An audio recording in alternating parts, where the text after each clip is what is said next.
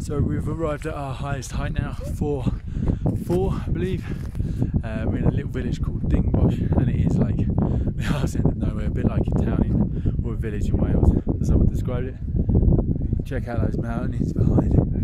You can see the nice powder on the mountain there. An epic mountain view just there. Yeah, mountain views everywhere, obviously.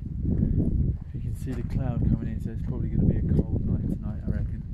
It's been pretty hot today, so uh, yeah, with dry heat comes dry cold, and you can see just up the hills there as well. Nice little view. And the guys just in there yonder just heading into the lodge. So yeah, it's really cool. Uh, everyone's feeling again, still in high spirits. No one uh, is feeling man down. Uh, someone who's Freya, who was a bit poorly, he's now feeling better. So bless her cotton socks, soldiered on through.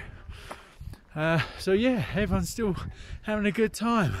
I think one of the things that we need to put into a training program though is deep squats, deep, deep squats, not half squat nonsense. You need to learn how to get deep just so that you can have a good old pop and a clear out uh, off track.